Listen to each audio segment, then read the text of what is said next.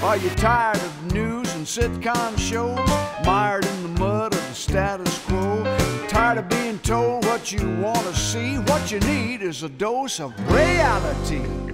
TNN, the Nashville Network, America's country home.